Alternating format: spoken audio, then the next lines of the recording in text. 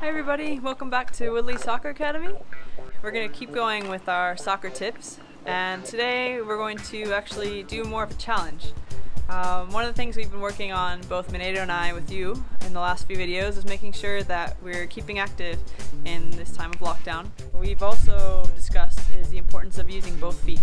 So today I'm going to show you a bit of a challenge um, using some of the juggling skills that hopefully you've been working on after a few of the videos uh, with Mineiro.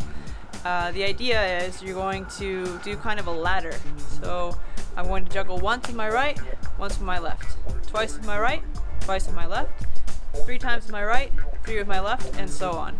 Alright, I want to see how high you can get. Obviously at first it's going to be kind of hard, so um, I'm going to I'm going to do a demo for you, and then I want to see you guys try, and let me know, let us know how high you get.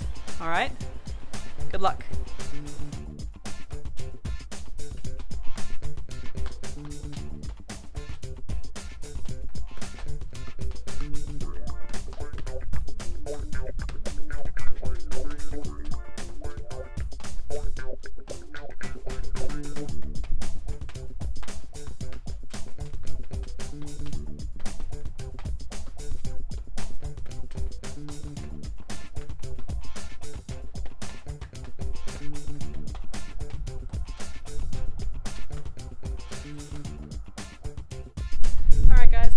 My best was six with each leg. Alright, let's see if you guys can beat me and in the meantime I'm going to keep working to see if I can beat myself.